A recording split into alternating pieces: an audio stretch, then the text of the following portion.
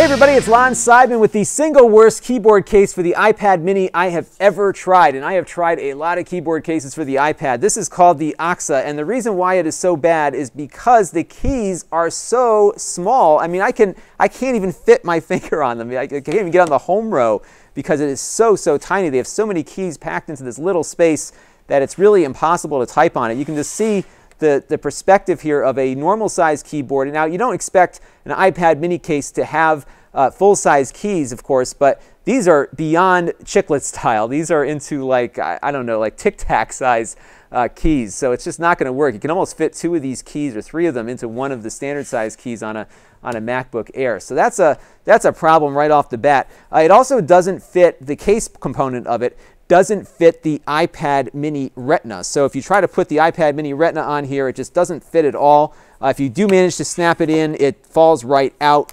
Uh, that's probably because the iPad mini Retina is a little bit thicker. So um, it just uh, it doesn't really work with it. So once it does snap in, you can hear it just kind of pops, or you can see it just pops right out of there. Another issue is that it's kind of back heavy. So when you do put the iPad in there, it tends to uh, that does, it won't tip over, but if you tap the screen a little bit, it'll certainly uh, go in that direction and eventually tip over if you really hit it too hard. So um, overall, I just I just can't. You know, I get a lot of stuff to review, and and and I tell it like it is. This one I cannot recommend. I don't think it's going to do very well at all unless you have really tiny fingers. Uh, this keyboard is just way too small. This is Lon Seidman. Thanks for watching.